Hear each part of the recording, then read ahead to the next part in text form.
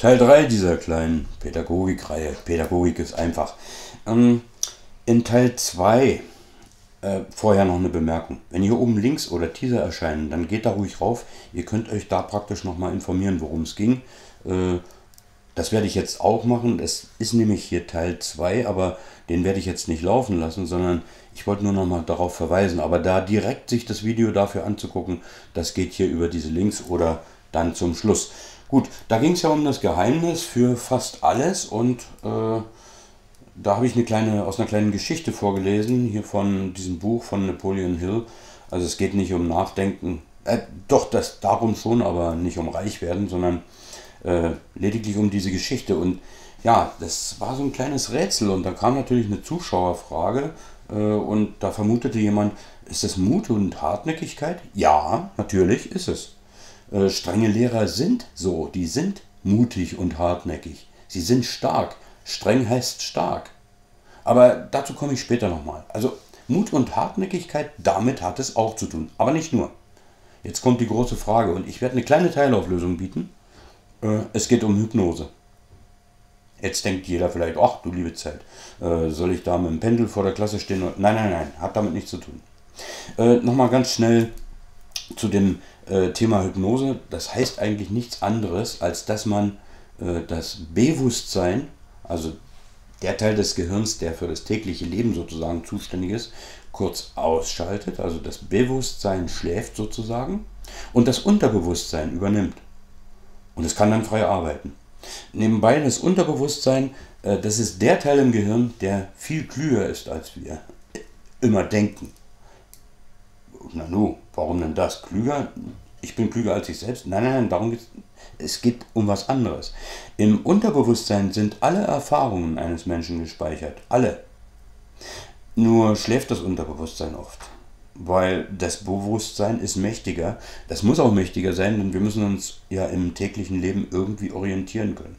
Aber das Unterbewusstsein, das kommt dann schon ab und zu zur Geltung. Und äh, jetzt wieder zurück, wenn darin alle Erfahrungen gespeichert sind, und das heißt, wenn Denken also Wissen kombinieren bedeutet, dann kann das Unterbewusstsein ja besser denken, effektiver denken, denn es hat mehr Wissen zum Kombinieren zur Verfügung.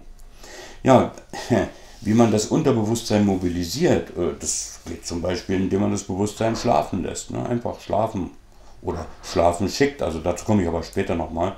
Kann man gerne nochmal besprechen, wenn dazu Interesse besteht.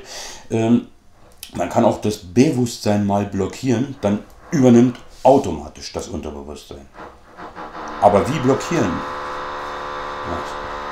Ich hoffe, diese Störung, die jetzt hier kommt, wir haben die Handwerker im Haus, äh, ist nicht allzu gewaltig. Äh, wie blockieren das Bewusstsein, damit das Unterbewusstsein arbeiten kann? Zum Beispiel durch Überraschung. Äh, na nun, jetzt könnte man ja denken, kann man das nicht nutzen? Also zum Beispiel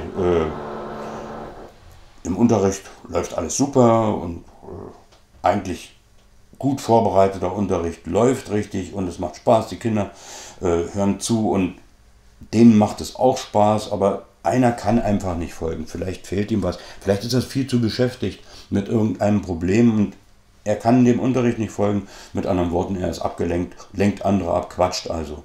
Man hat ihn ermahnt und es hat nur kurz gefruchtet, aber er quatscht trotzdem immer weiter. Was tun? Ja, was tun? Ich lese mal was vor. Und ich mache das ganz bewusst so, weil ihr könnt euch das dann in Ruhe durchlesen, beziehungsweise ich werde es unten in der Videobeschreibung dann nochmal äh, zitieren. Und zwar, ich lese es einfach vor und wir werden dann uns nochmal damit beschäftigen, worum es geht.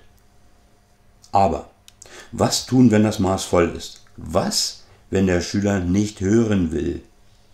Was tun, wenn das tadelige Verhalten sich zu oft wiederholt?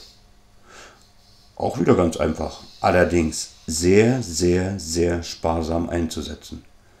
Brüllen Sie den Schüler kurz an, aber mit voller Kraft.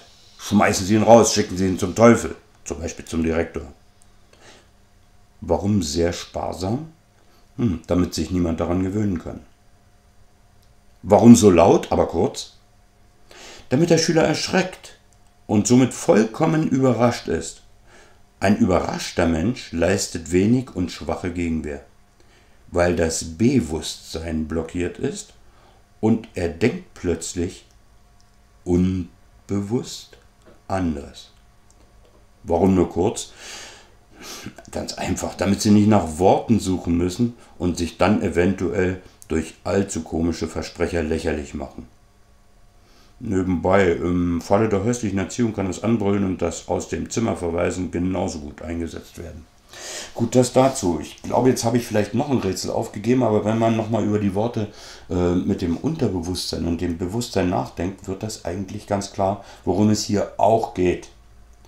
Das also, und das ist tatsächlich ein kleiner hypnotischer Teil, ähm, dass man also das ganz bewusst einsetzen kann. Fassen wir aber nochmal zusammen. Absolut sparsam einsetzen.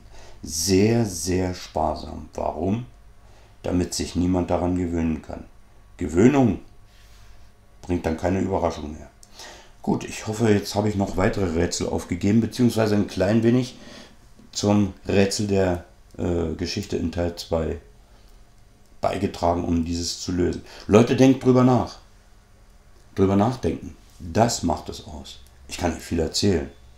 Selber drüber nachdenken, das macht schlau. Gut, ich wünsche euch was Schönes, liebe Kollegen. Macht's gut, tschüss.